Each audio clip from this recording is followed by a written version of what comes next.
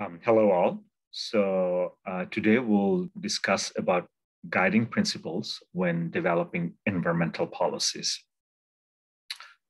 So an environmental policy statement is the commitment of an organization or government to the laws, regulations, and other policy mechanisms concerning environmental issues. These environmental issues generally include, but are not limited to, air and water control, natural resource protection, waste management, ecosystem management, and biodiversity protection, to name some of the most important ones. Environmental policy in the United States involve governmental actions at the federal, state, and local levels to protect the environment and conserve natural resources. Environmental protection is, ba- is balanced with other policy, um, uh, public policy concerns, such as economic growth, affordable energy, and the rights of businesses and individuals. The environmental policy process takes place within the political context and reflects tension between political considerations and scientific knowledge. In some instances, the public may reject environmental policies that are justified scientifically. Research has suggested that logging um, uh, of the nation's uh, forest contribute to increases in greenhouse gases. As a result, some municipalities may decide to prohibit logging in order to protect the natural environment. However, in communities supported by lumber production, residents may oppose restrictions on logging because such prohibitions cause widespread unemployment. Another example is the reactivation of coal mining and fossil fuel extraction in order to create employment opportunities for miners.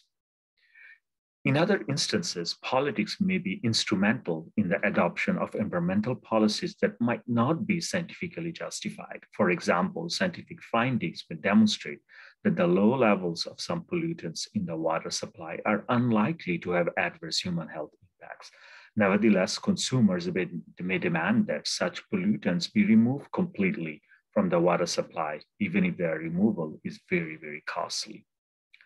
The European Union plays a key role in international environmental uh, negotiations. It is a party to numerous global, regional, or sub regional environmental agreements on a wide range of issues, such as nature protection and biodiversity, climate change and transboundary air or water pollution. The European Union helped shape several major international agreements adopted in 2015 at the United Nations level such as the 2030 Agenda for Sustainable Development, which includes 17 Sustainable Development Goals or SDGs, the Paris Agreement on Climate Change, and the Sendai Framework for Disaster Risk Reduction. In the environmental health arena, a number of environmental principles or philosophies may guide the work of those who are charged with creation of policy. We will discuss four such guiding principles that drive the basis of policymaking. These principles are the precautionary principle, the principle of environmental justice, the principle of environmental sustainability, and the polluter pays principle. We'll discuss these uh, um, four one by one next. As you are introduced to these principles, reflect how these concepts guide environmental policymakers in formulating their subsequent policies when protecting and preserving the health of our environment.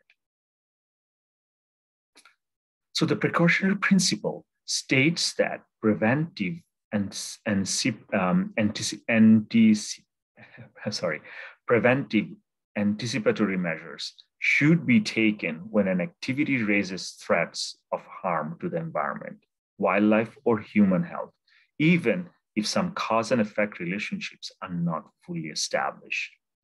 This principle has four central components. One, taking preventive action in the face of uncertainty.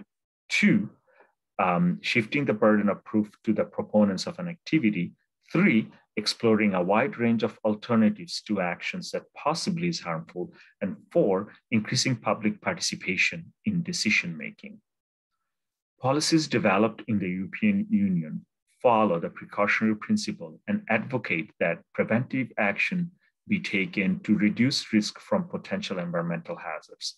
Although the principle has its roots in German environmental policy, over the past three, four decades, it has served as a central element in international environmental treaties addressing ozone depleting chemicals, fisheries, climate change, and sustainable development. The principle is applied when weight of scientific evidence suggests that a chemical is suspected of having adverse health consequences, even though such health effects not, um, uh, have not been established definitely. A specific case that would merit the application of the precautionary principle relates to endocrine uh, disruptors. For example, some chemicals are believed to have an estrogenic effect, acting as female hormones. Um, two of the many varieties of these chemicals are DDT and the family of pesticides uh, known as organochlorines. Scientists have speculated that endocrine disrupting chemicals may be related to human sexual abnormalities, such as low sperm counts in boys, and animal abnormalities, such as changes in sexual functioning of aquatic animals. The precautionary principle would advocate for the control of potential endocrine disrupting chemicals, even though the focus of uh, most research has been on whether or not they cause cancer. The absence of demonstrated carcinogenic effects does not rule out the possibility of other health hazards such as endocrine disruption.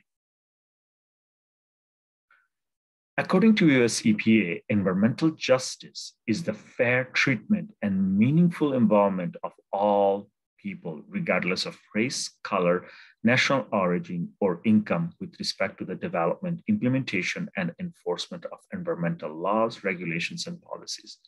Because of disparities of power and privilege, some communities with lower political voice may be subject to an unusual significant burden of environmental hazards. Because of this, unequal toxic exposures of adults and children from different racial, ethnic, or socioeconomic groups may occur. Children who reside in minority communities may receive especially high exposures to environmental toxins.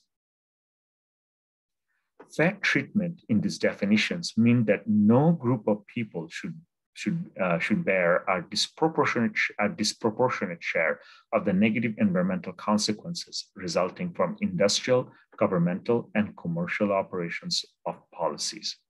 On the other hand, meaningful involvement in this definition means that people have an opportunity to participate in decisions um, about activities that may affect that environment or health, the public's contribution can influence the regulatory uh, uh, agency's decision. Their concerns will be considered in decision-making process and the decision makers seek out and facilitate the involvement of those potentially affected. EPA has this goal for all communities and persons across this nation. It will be achieved when everyone enjoys the same degree of protection from environmental and health hazards and equal access to the decision making process to have a healthy environment in which to live, learn, and work. So, um, as we just saw, there are actually four pillars of environmental justice fairness in the distribution of environmental resources and negative impacts, two, intra and intra-generational equity or fairness, three, right to a clean, safe, and productive environment, and the fourth pillar, right to have a voice in decisions that affect own life, family, and community.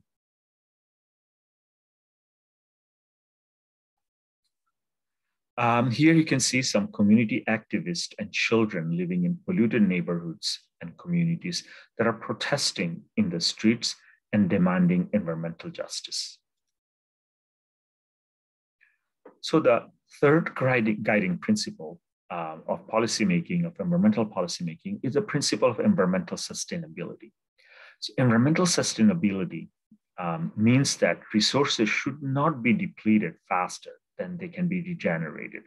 The concept also specifies that there should be no permanent change to the, environment, to the natural environment.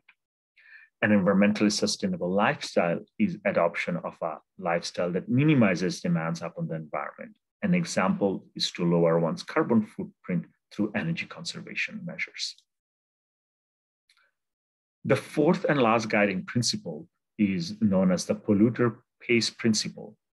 A crucial aspect of any environmental policy concerns is who should bear the cost of eliminating environmental hazards. According to the polluter pays principle, the polluter should bear the expenses of carrying out the pollution prevention and control measures to ensure that environment is in acceptable state. The cost of controlling pollution generated during manufacturing and consumption are to be incorporated into the prices of associated goods and services. So the four guiding principles discussed just now help in formulating environmental policies in many countries around the world. However, it is important to note the law of diminishing return. So initially, environmental control met, uh, methods are usually the most effective and easiest to implement and produces the largest benefit at the lowest cost. Continued progress requires using more and more extensive environmental control methods that remove smaller amounts of pollutants. At some point, costs outweigh the benefit. So I hope you enjoyed listening to this lecture. Please do not forget to subscribe. Thank you.